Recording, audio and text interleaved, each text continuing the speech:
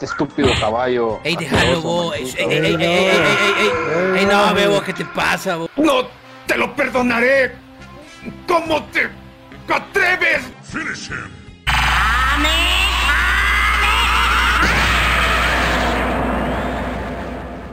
Fatality.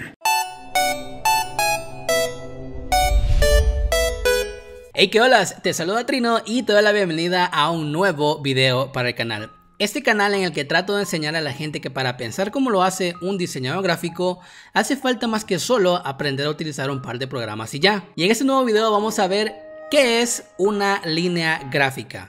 Se suele pensar que la tarea del diseñador es bien sencilla porque solo se trata de poner un par de colores, un par de imágenes, un par de logos y ya. Pero es aquí donde nuestra tarea como diseñadores se vuelve un poquitito más compleja y sobre todo se vuelve bien delicada. Así que no te puedes ir sin saber de qué se trata esto.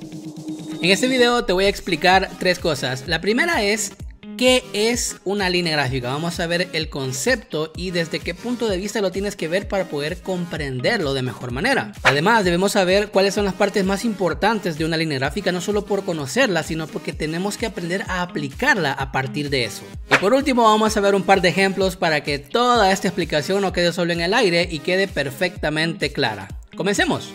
Primero que nada tenemos que ubicarnos un poco. A ver, ¿en qué parte del diseño se encuentra esto de la línea gráfica? Pues mira, la línea gráfica es una parte del manual de identidad corporativa. Para ello te recuerdo que tengo una serie de videos en el canal donde hablo específicamente del manual de identidad corporativa, qué es y cuáles son sus diferentes y específicamente en el video número 7 es donde ya vemos las aplicaciones del logotipo que es este video que tengo abierto por acá donde ya lo vemos aplicado sobre papelería sobre memoria sobre un montón de elementos incluso sobre automóviles donde ya vemos presente lo que se denomina como línea gráfica. Así que partiendo desde este punto aquí es donde hablamos ya de este tema en particular de forma sencilla, la línea gráfica es el hilo conductor que hace que la marca mantenga la coherencia en todo momento y en todo lugar. Tú míralo de esta manera, el manual de identidad corporativa te dice las reglas de cómo debes de utilizar el logotipo, te dice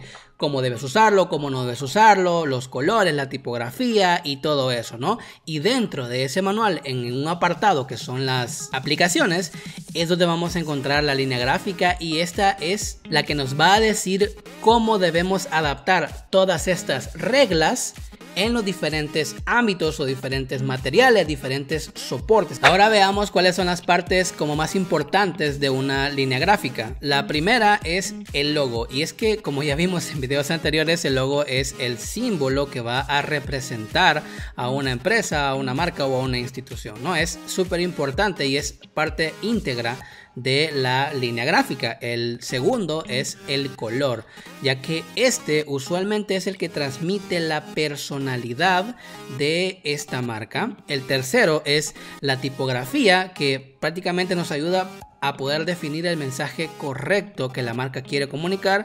Y por último tenemos la composición, que como ya vimos en bueno, videos muy muy viejos que tengo del canal, donde hablo acerca del equilibrio simétrico y el asimétrico, pues aquí aplica eso. De hecho, cuando estamos diseñando una pieza para una, para una empresa, lo que estamos buscando es que esa pieza esté equilibrada, que esa pieza tenga la tipografía correcta, que los identifique a ellos, que tenga sus colores para que tenga impregnada esa personalidad y que desde luego tenga su imagen, su símbolo que los represente y que no se vea de ninguna otra manera rara, sino que, que sea exactamente como ellos quieren que se vea. Vamos a ver un ejemplo de El Burrito Hot and Delicious. Este proyecto fue realizado y presentado en Behance por Thalia Novelo Arjona. Así que si la quieren seguir y ver su trabajo, pues les voy a dejar el enlace aquí abajo en la descripción.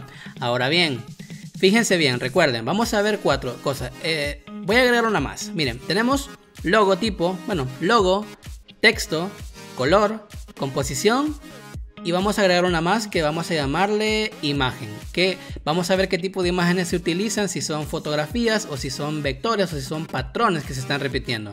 En este caso podemos ver claramente el logo del burrito que ahí está si ya lo identificamos. Ahora hay un color en particular que es este como celeste o como agua hay que tener muy en cuenta ese color Luego, ese patrón repetitivo es otra cosa, es parte de la imagen que estamos viendo.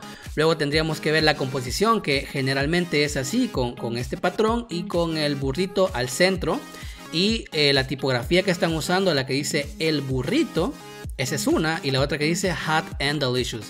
Quiero que la veas bien y la identifiques porque vamos a ver cómo esta se va repitiendo en los diferentes elementos gráficos que se solicitaron para este diseño. Eh, aquí tenemos la, un poco de papelería. Tenemos una tarjeta de presentación que si te fijas no es que este logo esté compuesto solo de un color. Lo que pasa es que puedes presentar el logo blanco completamente y tener colores que vas, con los que vas a ir complementando este, este diseño, así como, como hemos hecho en NPX Gamers. En este caso, fíjate bien, está este naranja, este amarillo, este rosa y está también este como aqua. Esos serían, y el color este como grisáceo tampoco es completamente negro que serían los colores como institucionales, digamos, son los que están establecidos en el, en el manual de identidad corporativa. A ver, una taza, si te fijas, es la misma tipografía de la que dice el burrito. Fíjate bien cómo están haciendo nexos entre tipografía, color, composición y, y las imágenes también, en este caso los patrones.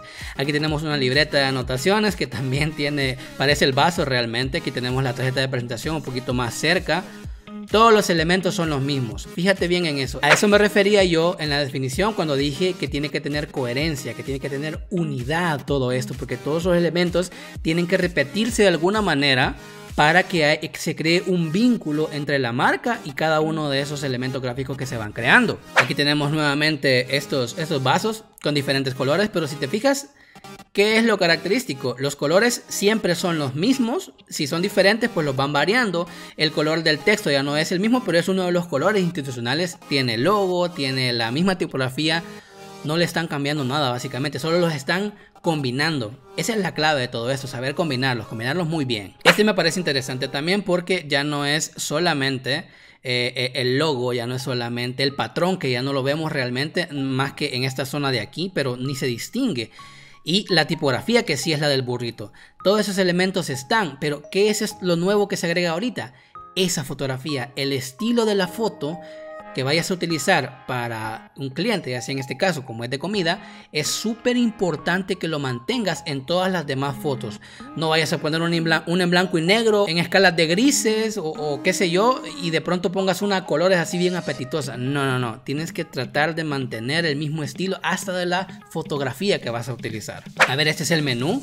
Súper interesante todo ese troquelado, es decir, todos esos cortes que le han hecho al papel. Bien interesante, es algo que no habíamos visto hasta el momento. Pero las formas también como que aluden un poquito a lo mexicano, ¿no? Entonces está súper bien. Luego la tipografía no la han, la han, cambiado un poco. Eh, esta, esta no la habíamos visto todavía. En un 80% siguen manteniendo la línea gráfica original, así que está súper bien. Vaya, en el caso de esta camisa, solo con ver la tipografía y saber que es de el burrito, ya sea de conocer la marca y tenerla en la mente, yo ya estoy haciendo una asociación directa entre la tipografía y la marca, entre la tipografía y la comida, ¿sí?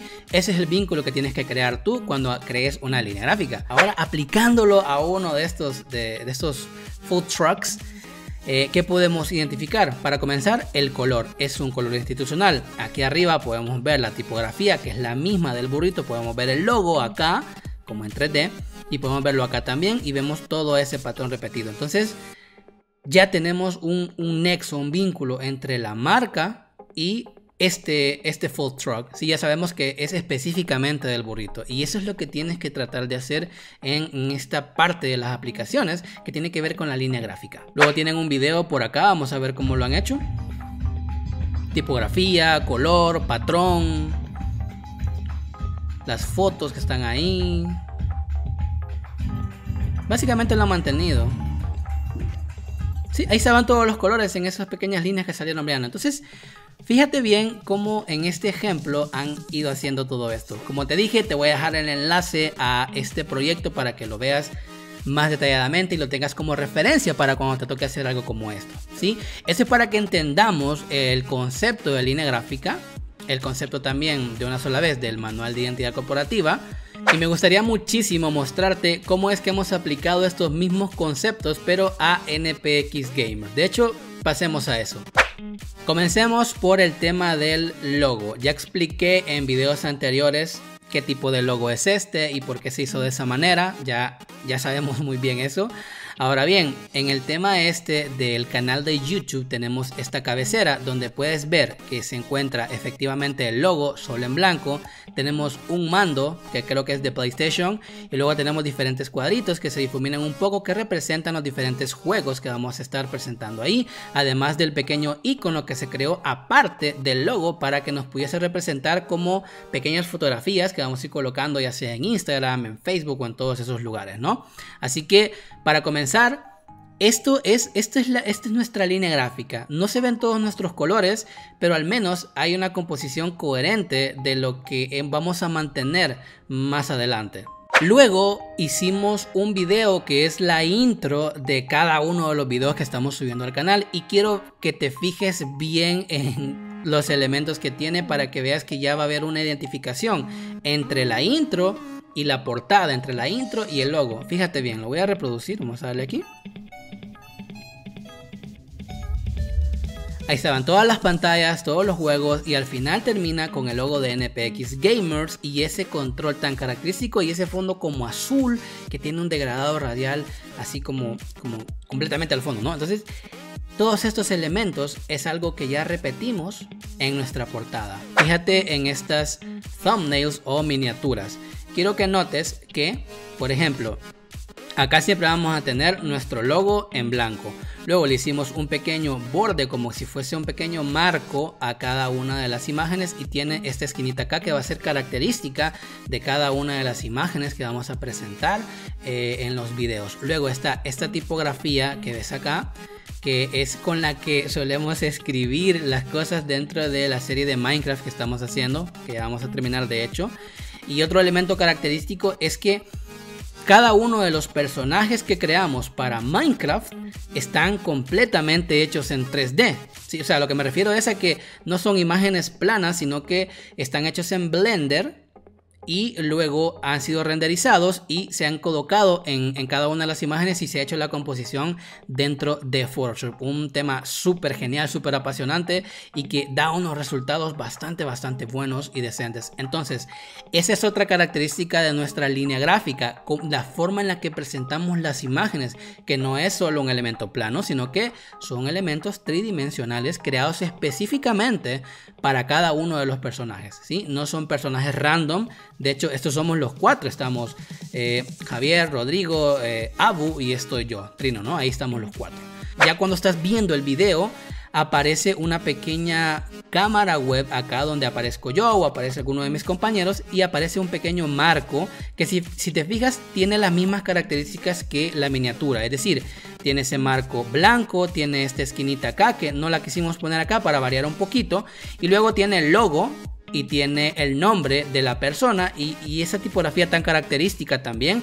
Además, que en pantalla, cuando decimos alguna palabra extraña, eh, la escribimos en pantalla y esa tipografía se va a mantener en todos los videos que hagamos de Minecraft o en las miniaturas o cosas así, para que haya una conexión entre la tipografía, el color, la composición, el logo y las imágenes que estamos utilizando. Tiene que haber una conexión directa. A ver, pasemos ya al final, que es básicamente lo que descubrimos en este video y es que Vimos el concepto de una línea gráfica y la palabra clave que se tiene que quedar así a fuego es la coherencia. Lo otro que vimos son las partes importantes de una línea gráfica, donde te mostré básicamente cómo tienes que identificar esos elementos y cómo puedes hacer tú para crear esos vínculos. Te mostré un ejemplo en el que o sea, no es mío, pero obviamente te estoy haciendo ver que es algo que se hace en la industria, que es algo que se sigue en la industria y es algo que definitivamente también tú vas a tener que hacer si te vas a dedicar a esto. Y finalmente vimos el ejemplo de el burrito y cómo lo hemos estado aplicando en NPX Gamers para ver que pues te animes a ver ese proyecto y otros, no solo ese, y que también veas un proyecto real como es este que estamos desarrollando nosotros en este momento.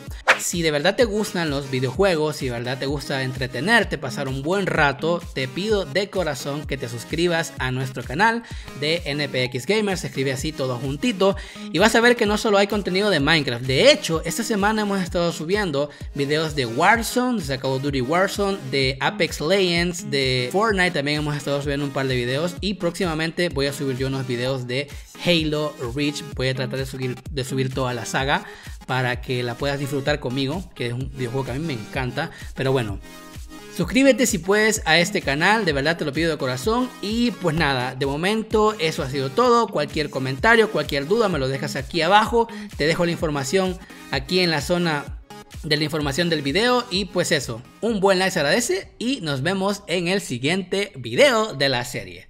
Chao.